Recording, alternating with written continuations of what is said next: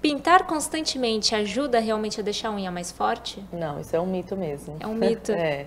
O que ajuda a manter a unha mais forte é você estar cuidando dela semanalmente. Não vai fazer a unha toda semana, você tem que ficar com o esmalte só uma semana e tirar, hidratar a cutícula. Não quer tirar a cutícula? Não tem problema, gente, não é, não é uma obrigação. Como a gente falou, é uma cultura brasileira.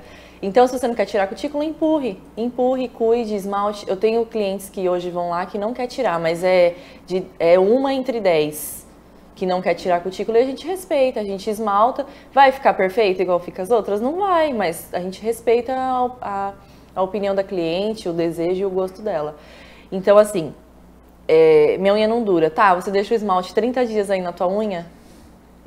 Não pode. Lascou e passa por cima o esmalte é, novamente. Isso, horrível, horrível. É, o esmalte comum, ele tem muita toxina, né?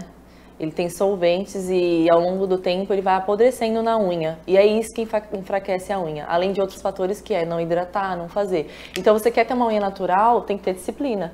E aí tem os vídeos na internet, inclusive vídeos de graça, para você cuidar dessa unha.